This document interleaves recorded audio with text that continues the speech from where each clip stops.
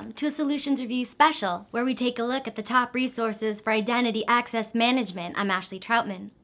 If you're in the market for a new IAM solution, you'll have to do some research, and before you can even begin looking at info, you need to find trusted sources.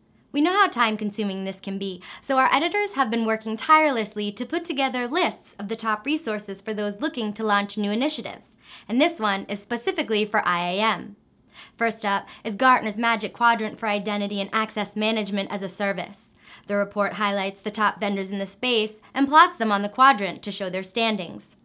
The tech giants Peer Insights also made the list. With this program, they're trying to present the collective experiences of thousands of qualified tech buyers and end users who have already gone where you're headed.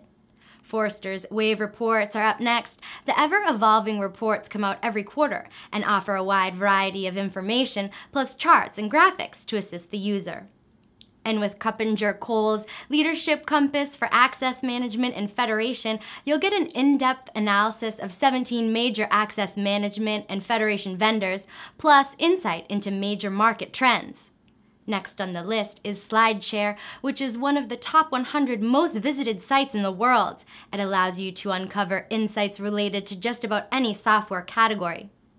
And Tom's IT Pro is a well-known resource that provides best practices and news, but the site also features in-depth buyer's guides. If you're unfamiliar with the current state of the market, Capterra's reviews and ratings should be your next stop for info. They provide a simple way for readers to learn about vendors and you'll find reviews from TrustRadius on the list.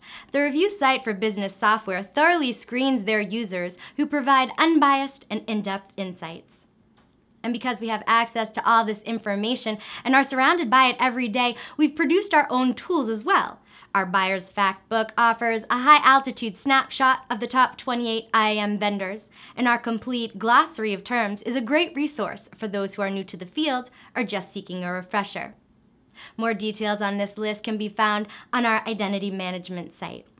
And if you like this video, subscribe to our YouTube channel for more like it. You can also find us on Facebook, Twitter, and LinkedIn. Thanks so much for watching. I'm Ashley Troutman. Until next week.